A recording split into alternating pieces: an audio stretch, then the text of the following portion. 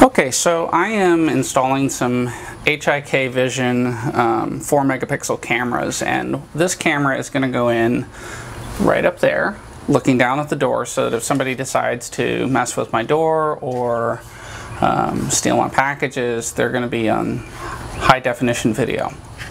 So I'm using Blue Iris to connect these and these are PoE powered cameras and I've run conduit to the cameras. And so I'm actually in the process of installing the camera. I, I, these were about $63 a piece on AliExpress from China.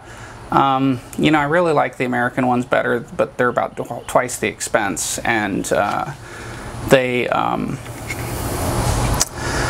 they have, they're all metal, and these are a plastic uh, base. So you get what you pay for. So I ordered some boxes, but these cameras don't fit those boxes. So I went to Home Depot and I realized that the spacing for the mount is the size of an electrical outlet. So I bought a $2 box, a couple little fittings, and uh, basically I can mount the camera to these. And so that's what I recommend. Now, it does leave some gaps in the back, but you know what? This isn't going to the moon. It's going to sit in a sheltered area and it'll be okay. So I like to pre-assemble these and then use glue to attach them to the conduit. So it looks like this before it goes in, and I'm sorry my lighting's not that fantastic. I might be able to fix that. All right, that'll a little better. But um, I like to pre-assemble them before I glue them and it does need to go in on the side because if you go in on the ends your screws don't go through. And then for screws I'm using brass number 6 uh, 32 screws. They're like a dollar for six of them so they're cheap. Um, but the advantage to brass is they'll never corrode. And um, the way these work is the base comes off the camera. In fact I'll show you.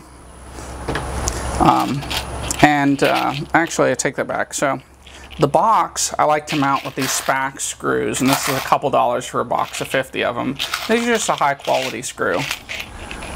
Don't use drywall screws. They rust and they're prone to snapping. So the way this works is you grab the base and twist, and then this little ring comes off. And this is kind of the thing that I don't like is that this is, um, once you bend this to get this off, it never really seems to want to go back in properly. So this comes off and then, um, you know, the reverse is just the same. And, and again, I just, you know, even once it's in there, it, it's just not very sturdy. The, the ring actually seems to lock it in place, but you to be really careful because these tabs will break in a heartbeat. I broke some on one of my cameras, um, the first one I put in. So and then you need to watch it because this whole thing will just fly apart here. So just set this someplace stable and safe. And then you screw this in to, you know, here and hopefully you've, well, once you mount this, you pull your cable and you terminate it with a jack. Um, I don't I don't recommend putting keystone jack in. Just just put an RJ40 5 connector on it so you can just plug it in and be done with it. The fewer connectors, the fewer places for problems. Um, so I'll go ahead and install this and then I'll put that camera in um, and it's really straightforward. And then once the camera's in, I can go configure it with the Hikvision SADP software, which you can download for free. And the first step in that is set a password and then assign an IP address that's, that you can keep track of. And um, you're off and running. Then you can set your parameters, and I'll do a video about that separately. Okay, so once you've got this installed and you've threaded the wire through here, you just plug this in and it will power your camera up. Alright, so at that point the camera is powered and now what I need to do is I need to reassemble this and point the camera roughly where I think it needs to be. So you want to stuff this up in here as nicely as you can, but it needs to be out of the way or it will interfere with the camera swivel.